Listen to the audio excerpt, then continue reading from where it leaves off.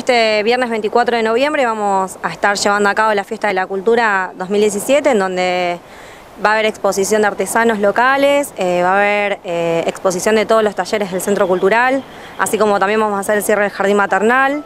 Y eh, por otra parte, un gran atractivo es que vamos a estar haciendo una vaquillona con cuero un precio muy accesible para todos los vecinos de la localidad y de la región. El que se quiera acercar es bienvenido. Bien, ¿cuánto es el precio justamente que van a estar aproximadamente cobrando? Mira, eso todavía no lo decidimos porque del buffet se van a encargar algunas instituciones, así que apenas lo pautemos, seguramente también lo vamos a difundir, pero sí, tenemos en mente un precio muy accesible. Bien, con respecto al horario del inicio. Sí, el inicio a las 19 y 30 horas, eh, y va a haber también música, música en vivo, espectáculos. Eh, también vamos a aprovechar la ocasión para entregar los certificados a quienes hicieron los talleres del Centro Cultural de este año, así como también a los talleristas. Eh, la verdad que es una propuesta muy variada, en donde se va a poder acercar toda la familia para disfrutar de una cena y de, porque va a haber servicio de buffet, también el que lo desee puede llevarse lo que quiera de la casa.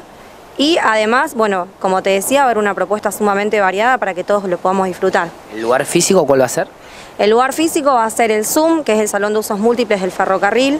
Eh, nosotros lo conocemos como el tinglado del parabólico. Y bueno, eh, básicamente va, a ser esto y esperamos que, que, todos puedan ir y que lo puedan disfrutar. En el caso de que llegue a llover por condiciones climáticas, ¿se modifica o no? Sí, se va a modificar la fecha en que llegue a llover, pero robemos que no.